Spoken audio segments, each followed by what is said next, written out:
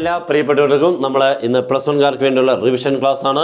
ഇന്ന് വളരെ എളുപ്പമുള്ളൊരു ചാപ്റ്ററാണ് എളുപ്പം കംപ്ലീറ്റ് ചെയ്തേക്കാം. മാത്തമാറ്റിക്കൽ റീസണിങ് നമ്മളല്ലാത്ത ചാപ്റ്ററുകളെല്ലാം ഒരുവിധം ഇങ്ങനെ തരുന്നുണ്ട്. ചെറിയ ചെറിയ പ്രോബ്ലംസുകളായിട്ടും വലിയ വീഡിയോസായിട്ടൊക്കെ എല്ലാം തരുന്നുണ്ട്. ഇനി നമുക്ക് ഒരു അഞ്ച് മാർക്കിനുള്ളൊരു കാര്യം ഇതിനുള്ളിലുണ്ട്. അപ്പോൾ അവനെ എളുപ്പത്തിൽ നമുക്കിപ്പോൾ ട്രിഗണോമെട്രി പഠിക്കുകയാണെങ്കിൽ മാക്സിമം ഏഴ് അല്ലെങ്കിൽ എട്ട് മാർക്ക് വരെ കിട്ടുള്ളൂ. ഇവിടുന്ന് ഒരു അഞ്ച് മാർക്ക് കിട്ടും. വളരെ എളുപ്പത്തിലാകുമ്പോൾ പിന്നെ അതിനെ അങ്ങ് നമുക്ക് നേടിയെടുക്കാമെന്നുള്ളേ ഉള്ളൂ. അപ്പോൾ നമുക്ക് സ്റ്റാർട്ട് ചെയ്യാം. മാത്തമാറ്റിക്കൽ റീസണിങ് എല്ലാവരും ഒന്ന് ലൈക്കും കമന്റൊക്കെ മറക്കുക ചെയ്തിട്ട് നിങ്ങളുടെ ഫ്രണ്ട്സിനോടൊന്ന് ഷെയർ ചെയ്തേക്കണം. സ്റ്റാർട്ട് ചെയ്യാം. ഓക്കെ നമുക്ക് ഇതിനകത്ത് ആദ്യം പഠിക്കാനുള്ള സ്റ്റേറ്റ്മെന്റ് ആണ്. സ്റ്റേറ്റ്മെന്റ് ഏതെങ്കിലും ഒരു സെന്റൻസിന്റെ മീനിങ് ഒന്നുകിൽ അത് ട്രൂ അല്ലെങ്കിൽ ഫോൾസ് ഇത് രണ്ടിൽ ഏതെങ്കിലും ഒന്ന് മാത്രം പറയാൻ പറ്റുമ്പോഴാണ് ഒരു സെന്റൻസ് എന്തായിട്ട് മാറുന്നത്? സ്റ്റേറ്റ്മെന്റായിട്ട് മാറുന്നത്. സ്റ്റേറ്റ്മെന്റുകളെ നമ്മൾ ഡിനോട്ട് ചെയ്യാറുള്ളത് small letters p a q r ഇങ്ങനെയുള്ള ലെറ്റേഴ്സ് കൊണ്ടാണ്.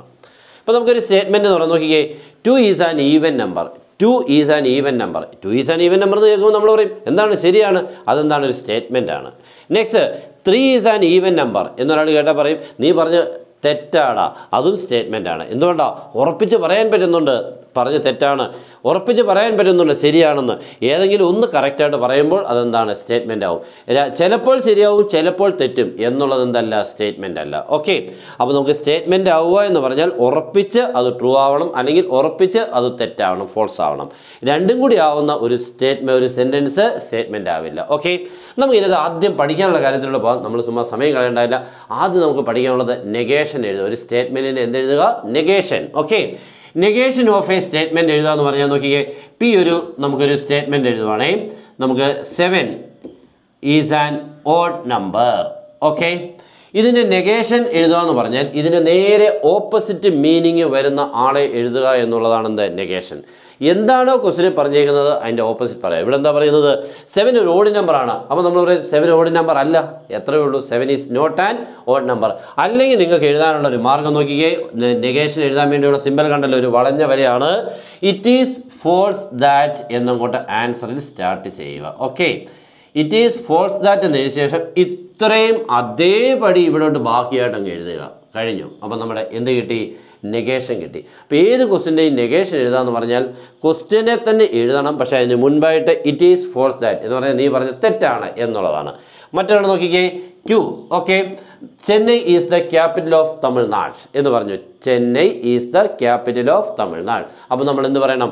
It is false that Chennai is the capital of Tamil Nadu okay ആണല്ലോ? അപ്പോൾ ഏത് ക്വസ്റ്റിന്റെയും നെഗേഷൻ എഴുതാൻ പറഞ്ഞു കഴിഞ്ഞാൽ അതിന് തൊട്ട് മുൻപായിട്ട് ഇറ്റ് ഈസ് ഫോൾസ് ദാറ്റ് എന്നും കൂടെ ചേർത്തുകൊണ്ട് ബാക്കി അതേപടി എന്താണോ ബാക്കി ഫുൾ ക്വസ്റ്റൻ അങ്ങ് നോക്കി എഴുതുക. തുടങ്ങുമ്പോൾ it is false that next നമുക്ക് പഠിക്കാനുള്ള ഏറ്റവും ഇമ്പോർട്ടന്റ് ആയിട്ട് ഈ എക്സാമിന് ഉറപ്പായിട്ടും വരുന്ന കോൺട്രാ പോസിറ്റീവ് ആൻഡ് കോൺവേഴ്സ് അതുകൊണ്ട് സ്റ്റാർട്ട് ചെയ്യാം. നമ്മുടെ ഫസ്റ്റ് ക്വസ്റ്റ്യൻ നോക്കുക. ഒറ്റ ക്വസ്റ്റ്യന്റെ ആവശ്യമുള്ളൂ കേട്ടോ. ഒത്തിരി ഒന്നും നമ്മൾ സമയം കളയേണ്ട. ഒറ്റ ക്വസ്റ്റ്യൻ കൊണ്ട് അവനെ ഇങ്ങ് കിട്ടിയേക്കണം. ഓക്കെ നമ്മുടെ കോൺട്രാപോസിറ്റീവ് ആൻഡ് കോൺവേഴ്സ് എഴുതാൻ വരുന്ന ക്വസ്റ്റ്യൻസ് എപ്പോഴും സ്റ്റാർട്ട് ചെയ്യുന്നത് ഇഫിലായിരിക്കും തീരുന്നത് ദെന്നിലായിരിക്കും okay if a number is divisible by nine then it is divisible by three okay ഇങ്ങനെ ഇഫിലും ദെന്നിലുമായിട്ടുള്ള ക്വസ്റ്റൻ ആയിരിക്കും. അപ്പോൾ ഇത് രണ്ടും നമ്മൾ എഴുതുന്ന എങ്ങനെ നോക്കണം നമ്മൾ ആദ്യം എഴുതേണ്ടത് എന്താണ്? Contrapositive okay contrapositive എഴുതുമ്പോൾ ഇഫിൽ തന്നെ തുടങ്ങണം. ദെന്നിൽ തന്നെ തീരണം. പക്ഷേ എന്തൊക്കെയാണ് ഇതിനുള്ള അറേഞ്ച്മെന്റ്സ് നോക്കണം ഇത് നമ്മുടെ ഫസ്റ്റ് സ്റ്റേറ്റ്മെന്റ് ആണ്. ഇത് നമ്മുടെ സെക്കൻഡ് സ്റ്റേറ്റ്മെന്റ് ആണ്. ഓക്കെ ആ അപ്പോൾ നമ്മൾ കോൺട്രാപ്പോസിറ്റ് എഴുതും. നമ്മൾ ഇഫ് കഴിഞ്ഞിട്ട് ഈ സെക്കൻഡ് സ്റ്റേറ്റ്മെന്റ് ഇവിടെ കൊണ്ടുവന്ന് എഴുതണം. നോട്ട് ചേർക്കണം. മീൻസ് നെഗേഷൻ എന്നിട്ട് ഫസ്റ്റ് സ്റ്റേറ്റ്മെന്റ് ഇവിടെ കൊണ്ടുവന്ന് എഴുതണം. അവിടെയും നോട്ട് ചേർക്കണം. എന്ന് പറയാൻ രണ്ടുപേരെയും തിരിച്ചിടണം. നോട്ട് ചേർക്കണം. Okay that means if a number is not divisible by three okay ഉണ്ടല്ലോ അതാ എഴുതിയേക്കുന്നത്. If is number is not divisible by three then it is not divisible by nine രണ്ട് ഇതെടുത്ത് രണ്ടാമത് എഴുതി. അപ്പോൾ രണ്ട് പേരെയും തിരിച്ചിട്ട് ഇവനെഴുതി ഇങ്ങനെ. മനസ്സിലായല്ലോ? രണ്ടിടത്തും എന്ത് ചേർത്തിട്ടുണ്ട്? നോട്ടിനെ ചേർത്തിട്ടുണ്ട്. ഇങ്ങനെയാണ് ആരെഴുതുന്നത് കോൺട്രാ പോസിറ്റീവ് അപ്പോൾ ഏത് ക്വസ്റ്റിനും കോൺട്രാ പോസിറ്റീവ് വരുന്നതിന്റെ ജനറൽ ഫോം നോക്കണോ ഇഫിലായിരിക്കും തുടങ്ങുന്നത്. എന്നിട്ടൊരു സ്റ്റേറ്റ്മെന്റ് കാണും. ദെന്നിലായിരിക്കും തീരുന്നത്. മറ്റൊരു സ്റ്റേറ്റ്മെന്റ് കാണും. അപ്പോൾ ഇപ്പോൾ എന്ത് ചെയ്യണം? നമ്മൾ ആദ്യം ഈയുടെ എടുത്തിട്ട് ഇവിടോട്ട് എഴുതണം ഇയർ എടുത്തിട്ട് അപ്പുറത്തോട്ട് എഴുതണം. എന്നിട്ട് രണ്ടിടത്ത് നോട്ട് ചേർക്കണം. ഓക്കെ നെക്സ്റ്റ് കോൺവേഴ്സ് കോൺവേഴ്സ് എഴുതുമ്പോൾ ഇഫിൽ തന്നെ തുടങ്ങണം ദെന്നിൽ തന്നെ തീരണം. ബട്ട് എങ്ങനെയാണ് നോക്കണം? രണ്ടാമത്തെ സ്റ്റേറ്റ്മെന്റിനെ അതേപടി ആദ്യം എഴുതുക. ആദ്യത്തെ സ്റ്റേറ്റ്മെന്റിനെ തിരിച്ച് രണ്ടാമത് എഴുതുക. നോട്ടൊന്നും ചേർക്കണ്ട ചുമ്മാ ഒന്ന് തിരിച്ചിട്ടാൽ മതി. Okay that means if a number is divisible by three ഇയാളാണ് ഇരിക്കുന്നത്. Then it is divisible by nine okay തീർന്നു. രണ്ടിനെയും തിരിച്ചിട്ടു രണ്ടിനും നോട്ടൊന്നും ചേർക്കേണ്ട. ചുമ്മാതൊന്ന് തിരിച്ചിട്ടാൽ മതി. അപ്പോൾ രണ്ടിടത്തും തിരിച്ചിടണമെന്ന് മനസ്സിലായി. ഇന്റർചേഞ്ച് ചെയ്യണമെന്ന് മനസ്സിലായി. നോട്ട് ചേർത്ത് എഴുതുന്നത് കോൺട്രാപോസിറ്റീവിനും നോട്ട് ചേർക്കാതെ എഴുതുന്നത് കോൺവേഴ്സിനും ഓക്കെ ഇത്രയേ ഉള്ളൂ. കോൺട്രാപോസിറ്റീവ് ആൻഡ് കോൺവേഴ്സ് അപ്പം നമ്മൾ രണ്ട് കാര്യങ്ങൾ പഠിച്ചു. ഒന്ന് നെഗേഷൻ പഠിച്ചു രണ്ടാമത് contrapositive and converse next നമുക്കൊരു ചെറിയ പ്രോബ്ലമാണ് അതും വളരെ ഇമ്പോർട്ടന്റ് ആണ്. ഓക്കെ ഈ ക്വസ്റ്റ്യൻ വളരെ ഇമ്പോർട്ടന്റ് ആണ്. എക്സാമിന് ഇങ്ങനെ പല തവണ വന്നിട്ടുണ്ട്. എളുപ്പം ഒന്ന് ചെയ്ത് കാണിക്കാം. If x and y are odd then x y is എന്താണ്? ഓഡ് ഇതാണ് നമ്മുടെ ക്വസ്റ്റ്യൻ മീൻസ് രണ്ട് നമ്പേഴ്സുകൾ ഓഡ് നമ്പർ ആണെങ്കിൽ അതിന്റെ പ്രോഡക്റ്റും ഓഡ് നമ്പർ ആണെന്ന് നമുക്ക് എല്ലാവർക്കും അറിയാം. പക്ഷേ അതിനെ ഒന്ന് പ്രൂവ് ചെയ്യണം. അതാണ്. ഇപ്പോൾ നോക്കി ത്രീ ഒരു ഓഡ് നമ്പറാണ് ഫൈവ് മറ്റൊരു ഓഡ് നമ്പറാണ് ത്രീ ഇന്റു ഫൈവ് ഫിഫ്റ്റീൻ മറ്റൊരു ഓഡ് നമ്പർ അപ്പോൾ രണ്ട് ഓഡ് നമ്പേഴ്സ് ഇന്റു ചെയ്താൽ മറ്റൊരു ഓഡ് നമ്പർ കിട്ടും. അത് എല്ലാവർക്കും അറിയാവുന്ന കാര്യം നമ്മളൊന്ന് പ്രൂവ് ചെയ്യാൻ പോവാണ്. എല്ലാവരും ഒന്ന് ശ്രദ്ധിക്കുക. അപ്പോൾ നമ്മൾ ആദ്യം ഇത് അസ്യം ചെയ്യണം. എന്താണ്? എക്സും വൈയും എന്താണ്? ഓടാണ് ഓക്കെ നമ്മൾ സംബന്ധിച്ചു എക്സും വൈയും ഓടാണെങ്കിൽ ഒരു ഓടിന് അങ്ങനെയാണെങ്കിൽ എക്സ് വൈ ഇസ് ഓടെന്നാണ് കേട്ടോ.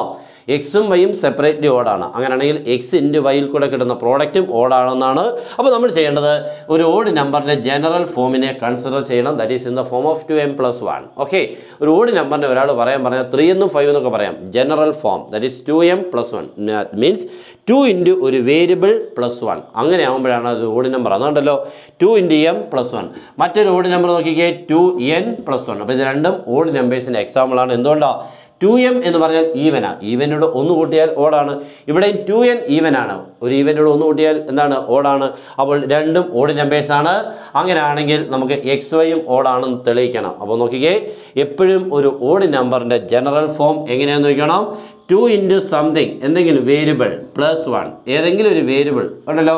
വേരിയബിളുള്ള എക്സ്പ്രഷൻ പ്ലസ് വൺ എന്ന് എഴുതി കഴിഞ്ഞാൽ ദാറ്റ് ഈസ് ക്ലിയർലി എന്ത് നമ്പർ ആയിരിക്കും ഓഡ് ആയിരിക്കും മറന്നു പോവില്ല ഓക്കെ ഇവിടെ എക്സ് ഇൻ വൈ ചെയ്യാം. That is two m plus one into two n plus one okay bracket open ചെയ്യുമ്പോൾ two m into two n answer is ആരാണ്? Four m n then two m into one that is two m one into two n answer is two n and one into one is എത്രയാണ്? One നാല് times okay ഈ നാല് പേരിൽ ആദ്യത്തെ മൂന്ന് ടേംസുകളിൽ നിന്നും നമുക്ക് ടുവിനെ കോമൺ എടുക്കാം. പ്ലസ് വണ്ണിനെ അവിടെ വിട്ടേര്. Okay four m n two m two n. അവിടുന്ന് നമ്മൾ ടുവിനെ കോമൺ എടുത്താൽ ഫോർ എം എൻ നിന്ന് ടു പോയി കഴിഞ്ഞാൽ ബാക്കി two m n plus two m n നിന്ന് ടു പോയി കഴിഞ്ഞാൽ എം വരും ടു എൻ നിന്ന് ടു പോയി കഴിഞ്ഞാൽ എൻ വരും plus one is clearly odd എന്തുകൊണ്ടാണ് two into something plus one is clearly എന്താണ്? ഓഡ് നമ്പറായി ശരിയല്ലയോ? അപ്പോൾ ഇങ്ങനെയുള്ള ക്വസ്റ്റ്യൻസ് വരുമ്പോൾ ഇത്രയേ ഉള്ളൂ. എളുപ്പമാണ് ചെയ്യാൻ. എക്സും വൈയും ഓടാണെങ്കിൽ എക്സ് വൈ ഓടാണ് അപ്പോൾ എക്സിനെ നമ്മളൊരു ഓഡ് നമ്പർ എടുത്തു. വൈയും ഒരു ഓഡ് നമ്പർ എടുത്തു. രണ്ടുകൂടെ ഇന്റു ചെയ്യുമ്പോൾ ഒരു ഓഡ് നമ്പറാണെന്ന് കാണിക്കണമെങ്കിൽ two into something plus one എന്നാക്കണം നോക്കിക്കേ ഇവിടെ two into something plus one is എന്താണ്? ഓഡ് ഓക്കെ ആണല്ലോ? ഇങ്ങനെ വേണം ഇതിനെ ചെയ്യാൻ. അപ്പോൾ ഇന്നത്തെ നമ്മൾ ഈ ക്ലാസ് ഒന്ന് കംപ്ലീറ്റ് ചെയ്യാണ്. ഉടൻ തന്നെ അടുത്ത ക്ലാസ്സും വന്നുകൊണ്ടേയിരിക്കും. നല്ലപോലെ പഠിക്കണം. സൂപ്പറായിട്ട് പഠിക്കണം. നല്ല മാർക്ക് വാങ്ങണം. ഓക്കെ അപ്പോൾ എല്ലാവർക്കും best wishes and good bye